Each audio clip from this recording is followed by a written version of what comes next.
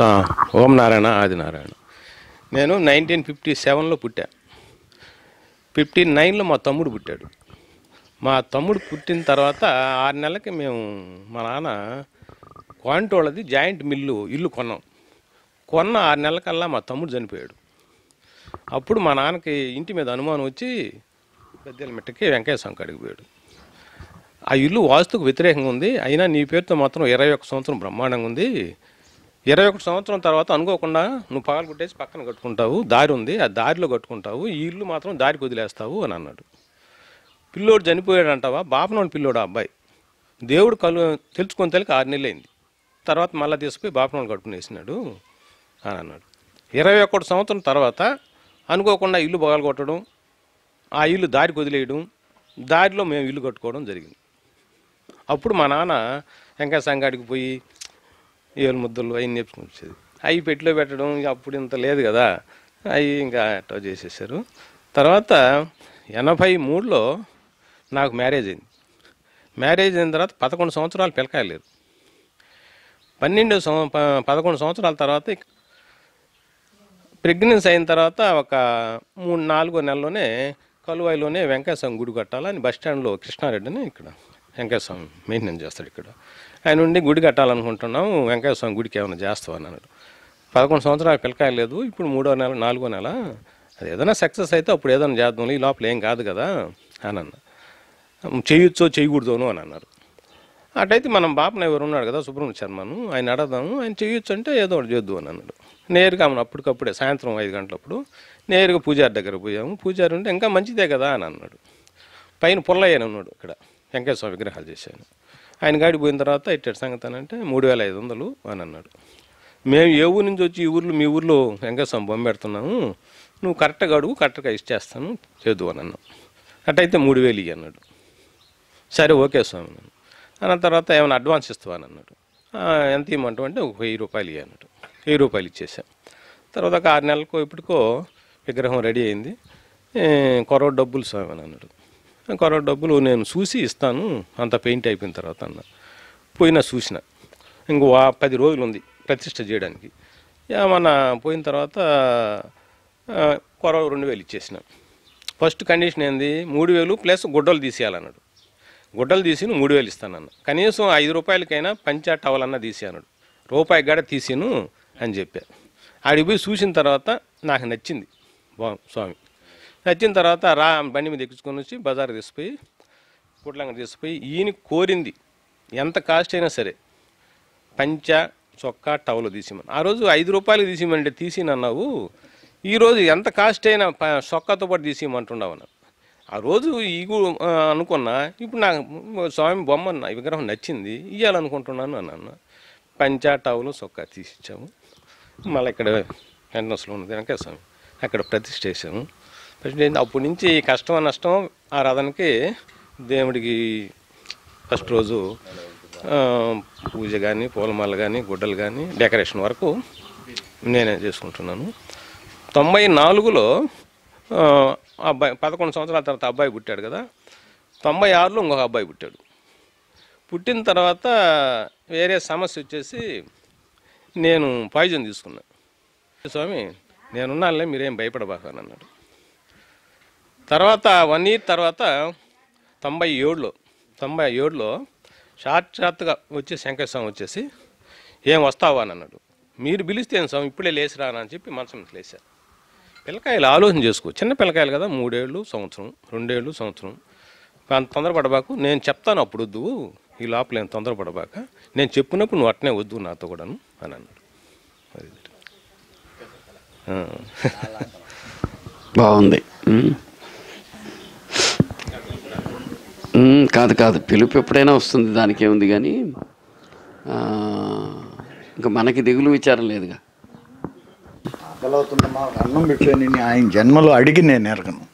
వాకిట్లోనే ఉంటాడు అంతే. మా ఊర్లోనే కదా దేవాలయంలో వండుకునేది మా ఇంటికి అడిగి దిగి వస్తాడు బ్రాహ్మణ పిల్లమ్మ. నేను సేద్యానికి అట్టుకో ఇటు పోతుండే కదా ఏళ్ళకి ఆయనకి పెట్టలేము. పోతే ఆయన నిలబడుకొని ఉంటాడు వీళ్ళు చూస్తుంటారు వీళ్ళ పని వీళ్ళు దయాలు ఆడుకోను బె బెచ్చిలు ఆడుకొని ఉంటారు ఆ పట్టి ఎవరైనా మగవాళ్ళు చూసి అయ్యవన్నీ మన దశాంగ ఆడుంటేనా వెంకయ్య ఆడుంటే అన్నం పెట్టలేదంటే అప్పుడు లేచిపోయేళ్ళ అన్న అంత పెడత తీసుకొచ్చి ఆయన పెడతారు. అడిగే మానవుడే కాదనుకో. మేము అన్నం తీసిపోయి ఆడబెట్టి నేను తింటాను నువ్వు? నేను తింటాను నువ్వు? నువ్వు తినవయానే పోతాను అంట. కసరతా నేను. ఆబట ఆకు తీసుకొచ్చేసి అన్నంలో పెడితే మూడు పెడసలో రెండు పెడసలో నోట్లు పెట్టుకుంటాడు. ఆ మడిషి అంతా? ఆబట మూట వేసా కట్టా అటు పెట్టుకొని నేను తింటాను నువ్వు అంటాడు. మాకు తెలుసు ఇంకా. అది ఐదు నిండు ఆయన దేశపోయి ఆడ బూడిసి పెట్టి రావాలా అని. చల్లడమా బూడిసి పెడతాడు. గుంట తీసా మా కాలువ కట్టిన ఇసుకలో. ఆ లోపల బూడిసి పెట్టి పైన మట్టి దోసేస్తాడు.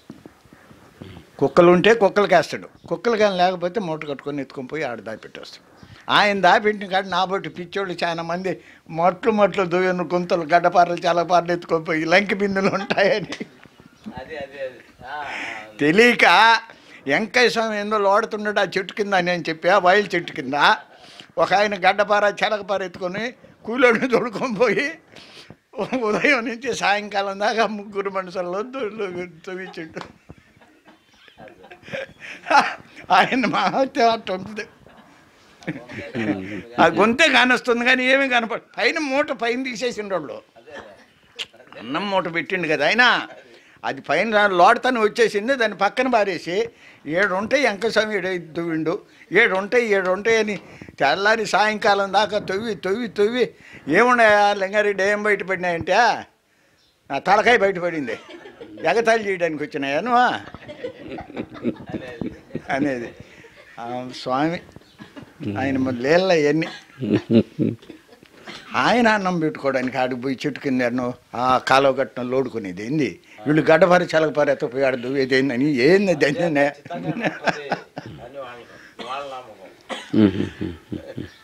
ఒకరిని ఒక అగసట్లు పెట్టి ఇలా మంచిగానే ఆయన స్వామి తిప్పి తిప్పి పెట్టిండో.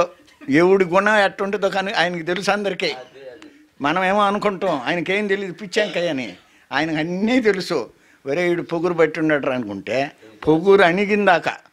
మళ్ళీ పోయా ఓ స్వామి నిన్ను తప్పుగా మాట్లాడినా నేను. నా నాకు అనుభవం ఉంది మా ఊర్లో. షేజాని కపిల్కి ఎద్దులు కడుతున్నాడు ఒక ఆయన. ఆయన పేరు వద్దులే. రెండు ఎద్దులు కడుతున్నాడు ఈయన దేవళం కాడి నుంచి చీకటితో లేచి వచ్చిండు. ఇది జోలే ఈ పక్క మోకులు మోకుతుంటలు. అన్నీ పెట్టుకొని తలగుడ్డ చుట్టుకొని వచ్చేతలకి ఎద్దు బెదిరి పరిగెత్తింది. భయపడింది. ఆయన కోపం వచ్చింది. రెండు ఇచ్చులు చాలుకోడి. చాలుకోడి. మరి రత్నమా? ఇంత ఎనపసు పూసిన. జానకంలో పండు పెట్టి. కొట్టేతలకి. ఇంతెత్తు బేంగిని ఈ రెండు. నువ్వు పోతవరాలు ఎండి కొడుకు అనుకున్న మనసులో అనుకో నేను ఎదురు మాట్లాడితే తిరగబెడుతుండవుడు తిరగబెడుతుండవు నాకాడికి పెద్ద ఆయన. కొట్టే ఊపులో ఉండడు పోతరలు ఇంకొకరు మీరే పోతరలు ఏమనుకొని దేవళంలో బండ పెట్టుకొని ఎనపూస రాసి. అన్నీ చేసి నేను ఇంటికి పోయి మొహం కడుక్కొని సద్యాన్ని పెట్టమ్మా అంటున్న మా అమ్మని. ఊర్లో ఆగంగా ఉంది. ఏంది అయితే నేను బయటకు వస్తే వాళ్ళు ఎద్దులు బయలు పడినాయి.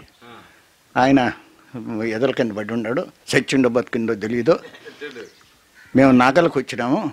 నగలు బయలుకేసి ఎద్దులన్న బయటికి పెరకదామని మాదిగోళ్ళకి అప్పుడు అన్నది మా నాయనమ్మ పక్కన కూర్చొని ఉన్నింది. చూసిన వెంటరా వెంకటస్వామి అంటే ఎందునా పిచ్చంకాయ పిచ్చంకాయ అని తమాషాలు పడతారు ఆయనతోనో? ఇప్పుడు పిచ్చి చూపించండి చూడు. వాడు ఏడు కొట్టినాడు ఆడు పడిండు. ఒక ఎద్దు పనికి రాకుండా పోయింది.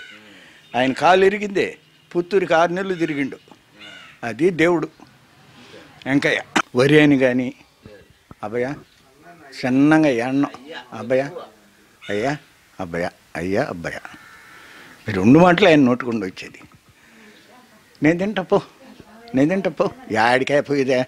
ఉదయం తిను నేను పోతానంట నేను కసరతా ఇది ఆ బట రెండు ముద్దలు మూడు ముద్దలు తింటాడు అంత ముట్ట కట్టాడు.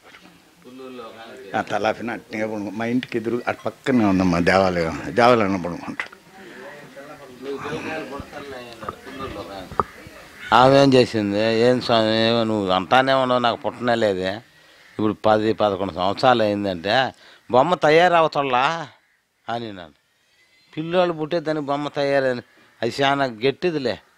అందుకని దానికి మేకులు అవి కొడుతుంది చూడు మరి. అర్థం కానీ పరిభాషలో మాట్లాడతాడు. తెలియదు కుల్లూరు కుల్లూరులో. కుల్లూరులో గంగాధరం ఇంటి పక్కన ఉంది. ఒక ఆమె చనిపోయింది ఈ మధ్య. పేరు తెలీదు. అయ్యో ఈయన తెల్లబరం దొత్తు అయ్యో అనిండు. మాకు లేక లేక ఒక కొడుకు అయితే మేందుకు ఇస్తాం దొత్తుకే? మేమేమో అనిండు. లేదయ్యా తెల్లపారం కాయ దత్తుకు పోతాడు అనిండు. మళ్ళీ ఇంకొన్ని రోజులు వచ్చేసరికి వాడు చచ్చిపోయిండు. వాడు మళ్ళా ఈ జీరం అయి పుట్టింది. అదే జరిగింది. ఇక్కడ మన కాకురపల్లిలో పరిశ్ర నరపరెడ్డి ఇంట్లో వాళ్ళ ఇంట్లో పిల్లకాయల వల్ల చేను ఎలుగు తెలుసుకొని ఇట్ట తిప్పుకుంటున్నారు అది ఆడ ఉలవల జాలలో ఉంటే ఆ ఉలవల జాలలో పడిపోయింది. ఏడు ఎవరెతికినా ఏడెతికినా కాండాల. చేద్దిగాడు తీసిండని చెప్పి వాడిని పట్టుకొని కట్టేసి కొట్టిండ్రు. నిల్చోనే నేను ఎరగనాను అంటాడు ఆ చేద్దిగాడు ఆమె ఆయన కొత్తపల్లి తిప్ప మీద ఉండి వెంకటస్వామి ఆయన తీసుకొని వచ్చాను కూర్చొని పెట్టి అడిగితే ఆయన లెక్కలు ఎవరికి నరపరెడ్డికి వచ్చా పారిస్టర్కి ఆయనకు రావు. వాళ్ళన్న మునుసు ఆయన కూర్చు బాగా.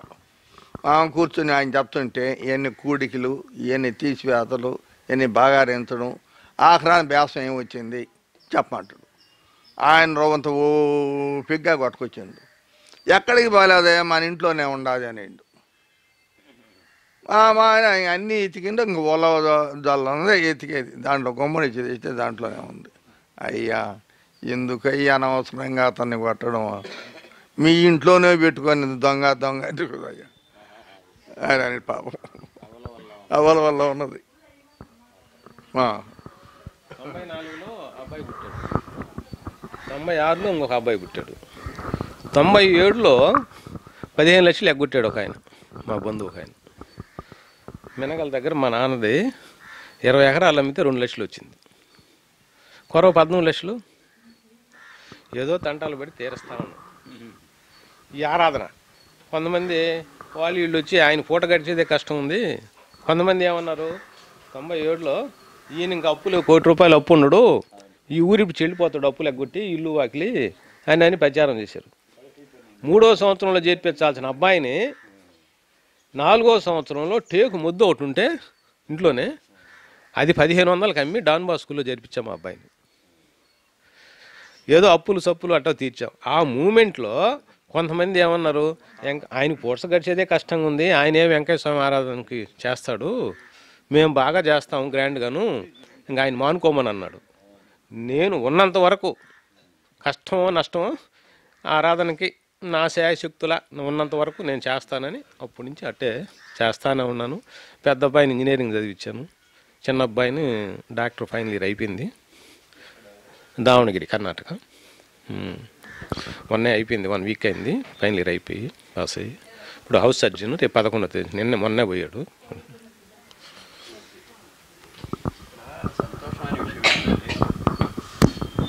మన దేశంలో ఈ విదేశీయులు మన దేశానికి రాకమునుపు ఒక సంస్కారం ఉండేది. ప్రతి బిడ్డను ఒక సాధువైన సత్పురుషుడి దగ్గర తీసుకుపోయి చేర్చి ఆయన భావాన్ని బట్టి సాకేవాళ్ళు. ఈ ఇతర దేశాల వాళ్ళు వచ్చేసిన తర్వాత అది పోయింది ఆ విద్యా విధానము వ్యవహారం.